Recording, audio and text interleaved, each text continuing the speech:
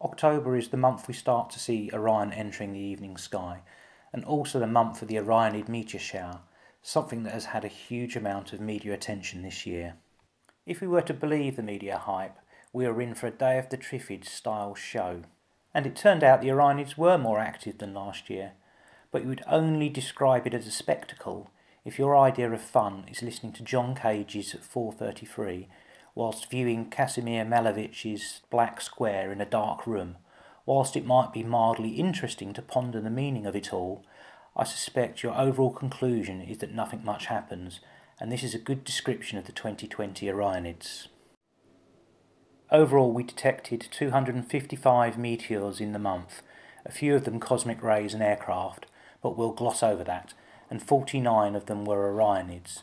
Indeed, we saw 21 Orionids in one night, on the 21st of October, so hopefully the general public weren't too disappointed.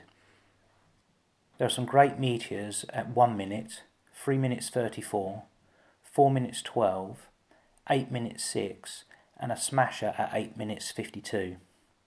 So if you just want the highlights, those are the ones to check out.